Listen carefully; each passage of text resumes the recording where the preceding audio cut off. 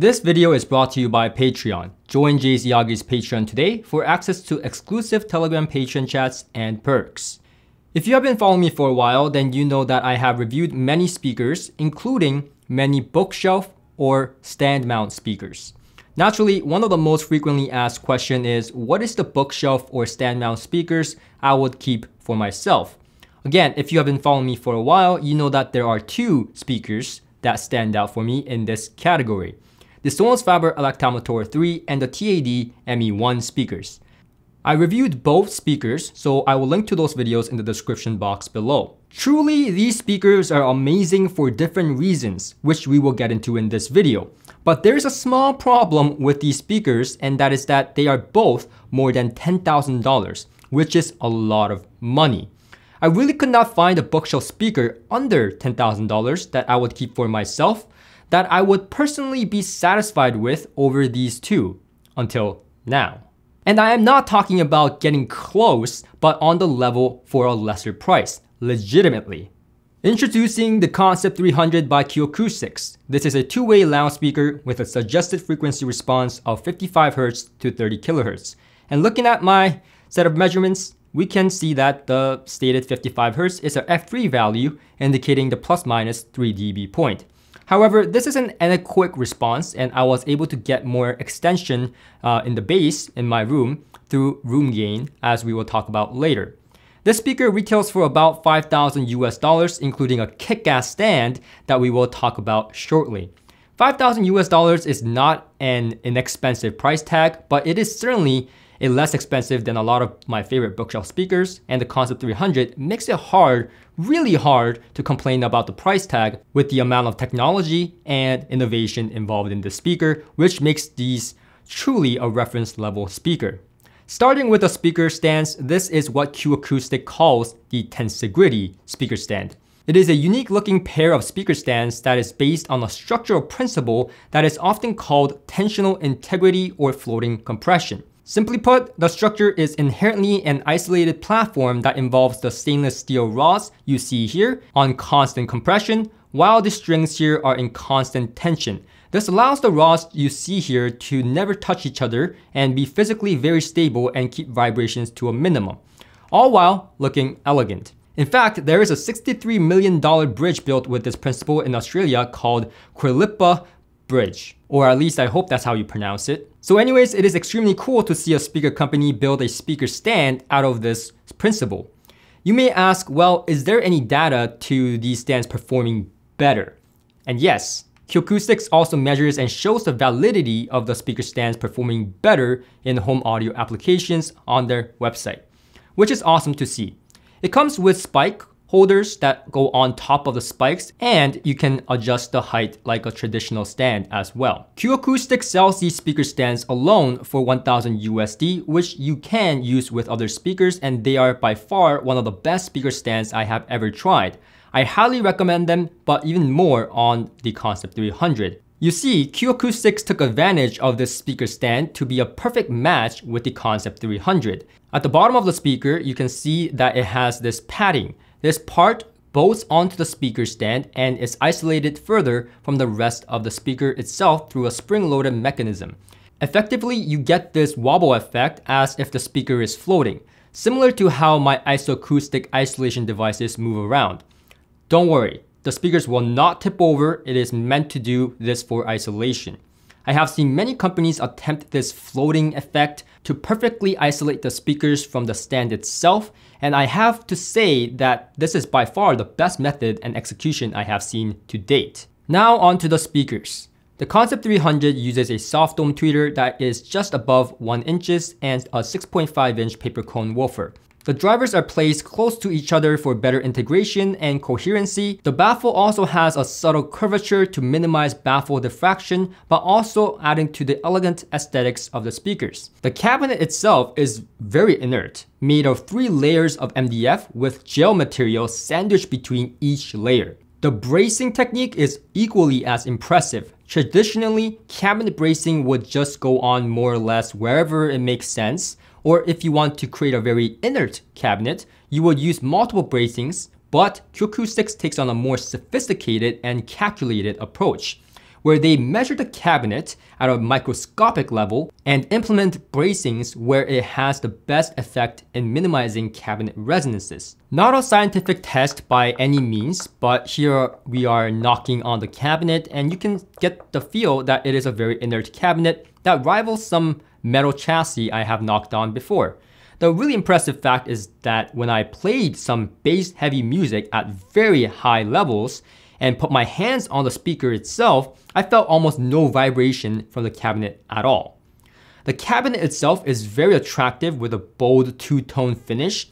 The pair I have here features a very deep, and I mean seriously deep black gloss finish, and the real rosewood veneer that contrasts nicely with the black finish. I am really not a fan of black finishes, especially when they are glossy like a piano black finish, as they are fingerprint nightmares, but I am a fan of this unconventionally deep black finish for some reason um, on the speaker, as it contrasts really nicely with the real wood veneer, and they do have two other finishes as well, as you can see here, but the finish I have here is by far my favorite. The drivers are mounted from the inside to provide a sleek look on the front baffle, and I love that since I hate seeing screws that stick out like a sore thumb on the baffle. The crossover is also mounted on a separate board on the suspension system at the bottom of the speaker for extra isolation, and they are using reasonably high quality parts. On the back of the speaker, you see two sets of really nice big binding posts. These are perhaps my favorite set of binding posts I have seen on a speaker. They are similar to ones I have seen on a $20,000 Luxman amplifier, but these are quite frankly feeling nicer and looking nicer. You also see this nice little thing just above the binding post. If you remove this little piece here entirely, you get a negative 0.5 dB adjustment on the treble. If you have it on the left side towards the negative speaker binding post, then that is the neutral point with no plus minus deviations, so 0 dB. And finally, if you move it to the other side towards the positive speaker binding post, then you get a 0.5 dB gain in the treble. Now I find this almost entirely meaningless and we will get to the reason behind that later in this video, but I have measured these and they do perform their function as they should. It is a bass reflex design as you can see here. There is a port. I measured the port and it is tuned to around 44-45 Hz and that's where the port takes over from the woofer. Now interesting stuff happens when you plug in this port with the given port plug. Usually I am not a huge fan of port plugs that's designed to be a bass reflex design because it really doesn't sound or act like a sealed design. It is a often misconception that you can just plug the port and suddenly it turns into a sealed speaker. Doesn't work like that. But in this speaker, it does sound a lot like a really good sealed speaker to me, and we will get to that. Overall, I haven't seen a stand mount speaker at this price range that is this innovative and well executed. This is something I'd expect to see at a much higher price tag like the ones I mentioned at the beginning of this video as my favorites. There is actually more innovation and technology that makes sense to me, a lot of sense, in these speakers than those if you think about it. The Concept 300s sound freaking darn awesome in my room. Like, I like it enough to have this top my other references I talked about earlier in this video. It has the fun factor in warmth and tonality like the $10,000 Sonus Fabers, but it also has nuances and details like the TAD ME1s. With correct matching amplifiers, it takes it even further. To me, the Concept 300 is like a middle ground between these two loudspeakers. It's like having dark chocolate and milk chocolate at the same time. Wait, I've never tried that. Is that good? Who the hell wrote that on my script, bro? Well, I know one thing, and the Concept 300s are darn good. Not just in its concept, but in sound. Pun intended. Let me start with three things I found most impressive about the Concept 300 that makes these speakers really stand out. First of all, the soundstage really stands out on the speaker. It just disappears and easily creates a holographic, effortless soundstage that is impressive, wide, and stretches past the speakers for sure. But what is even more impressive is the depth.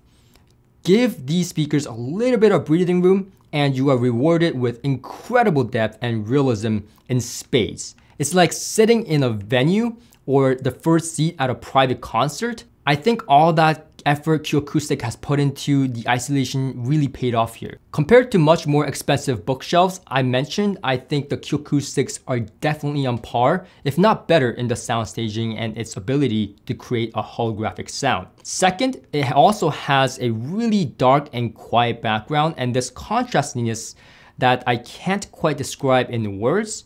I find it more musical because of this contrast contrastiness and it's something I have discussed with my Patreons on my Patreon chat. And they also found this contrastiness when they had a chance to listen to Acoustic speakers. We were trying to put it into words of what we were hearing. And when I put the word contrastiness out there, they were like, oh yeah, yeah, yeah, that's it. It's like there is this blackness between each instrument and the details are well formed with seemingly better imagery because of this blackness. Third, this is an all-round speaker. It performs great in many, many ways, but in a sound profile that I associate with the British sound. With silky smoothness, but still with a lot of detail in a super refined way that allows me to listen for long periods of time, quite frankly, without ear fatigue. And this really allows the speakers to be great with many different types of music, even poor recordings and modern recordings I played for fun surprised me in how good it sounded. So those are the three things I found really impressive in the speaker that made the speakers that much more musical and enjoyable for me. Now let's break it down. In terms of bass, believe it or not, I prefer the overall sound of the speaker with the foam plugs in, and that really comes down to mostly the bass. To me, it sounded a lot more like a sealed bookshelf speaker. It was just more pleasant and seemed like I was getting more clarity and separation as well. The bass without the port plug can extend down fairly deep with room gain. I would say doesn't have the most impactful bass I've heard, but it is plenty dynamic and it certainly has tasteful textures and linear extension feeling type of bass that fills the room quite nicely. I can see a lot of people not needing a subwoofer with this speaker if they plan to use it without the port plug as it easily reaches down to around 40 Hz with room gain. I would describe the bass to be palatable with one of the most pleasant, textured, and nuanced bass it's not a tower speaker, so you're not gonna get a rumble your room or startle your cat kind of bass, but it definitely has enough presence in the bass to get your foot tapping and have a full-bodied, warm room feeling experience. The mid-range is also very nice. Vocal sounds just wet enough and smooth sounding while also being articulate enough so that the instruments or vocals don't sound muffled or cloudy. Tonality is also one of my favorites and it reminds me, again, more of that middle ground between the juicy, warmerlicious Sonus Faber sound and the articulate, detailed TAD sound. It also reminds me a lot of sealed designs like the famous BBC monitor like the LS3 5A or the Harbeth when I had the foam plugs in. Meaning it has that softness but also not as soft as some Harbeth, um, speakers that I have tried. Instead, you do get plenty of balanced detail both in the mid-range and the high frequencies. Now talking about the high frequency though, I find the highs on these speakers to be pretty darn refined. It is smooth and extended, but it also is capable of giving you really nice sparkly sweetness on the top when matched with gear that lends itself to those capabilities, which we will get to in a minute. In terms of treble though, this speaker is overall really flexible even without the plus minus 0.5 dB adjustment from the back. And that is because this speaker has a pretty good off-axis response and behaves like a lot of speakers do where if you tilt the speakers towards you, you will get more treble. If you tow it slightly away, you get less treble. I find the placement to be a better solution than the 0.5 dB adjustment because 0.5 dB is very little and you can barely hear that adjustment I found that the best solution to getting the amount of treble you want in this speaker is to play around with the placement and that is reflected in the off-axis measurement posted by in collaboration with NRC and Soundstage in the description box below. Here you can see my own sets of measurements that I took which simulate a anechoic response. Overall, pretty good. The blue line is the on-axis response and the green line is the plus 0.5 dB adjustment while the red line is the negative 0.5 dB adjustment. As you can see, the jumpers do what they say they do, but again, I found it far easier and better to just leave this at the 0 dB setting and adjust the speaker's tone to your taste. Here is a set of measurements comparing with and without the foam plug on the speaker. The green line is with the foam plug in and the blue line is without. With the foam plug, you can see that the roll-off is more gradual, which corresponds to what I heard. Moving on to gear matching. I have tried several different integrated amplifiers with the Concept 300 and some were just not it, while some were just absolutely match made in heaven. I don't consider this speaker to be extremely hard to match with the right gear, but it also is not a walk in the park. I would consider this speaker a medium in terms of difficulty in matching it with the right gear. I tried several amps, but instead of me going over every single one, I will just mention two that I found to be a wonderful synergy and exceptional with the Concept 300. First is the new Billie amp from Heaven 11. I also have the previous version of this amp and that worked great too, but the new Billie amp paired with the Concept 300 brings out great body and bass authority while providing nice sound staging and holographic imagery. It also brings out little more finesse and excitement in the mid-range with 120 watts of power at 8 ohms and 215 at 4 ohms, it is also plenty powerful for most rooms with this speaker. My favorite though has to be this Brunoco integrated amplifier. You may remember this amplifier from my visit to the RCA Korean bar where something unexpected happened. The sound made me tear up from getting emotional, so of course I requested the amplifier that was driving those huge RCA speakers because I was told the amplifier was made with the same blood as the RCA speakers. This is definitely the first time I heard an audio amplifier was made with the same blood.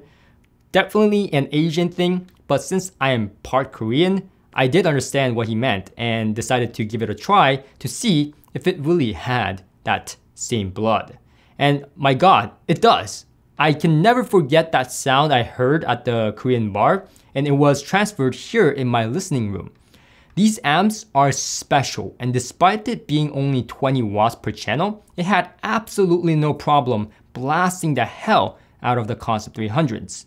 The soundstage and depth was enormous. The sweetness on the treble was to die for, and it played perfectly in balance and harmony with the overall smooth and warmer tone of the Concept 300. I don't think I would have regrets if I chose this combination as my end game if I ever decided to close my channel down the next day. It was that good. It was just that good. I really liked the sound of the Audionote Tonmeister that I reviewed in my recent video, but that is only 8 watts of power and it simply won't be able to drive the Concept 300s to rocking levels and it's very expensive at 19,000 USD. But the Brunoco is 3,400 USD and was able to drive the Concept 300 speakers at 20 watts of power and was and for literally a small fraction of the price, I quite frankly found the Brunoco to be more pure sounding with better detail and refinement while having that ultra room filling holographic soundstage that I love so much on the Tonmeister.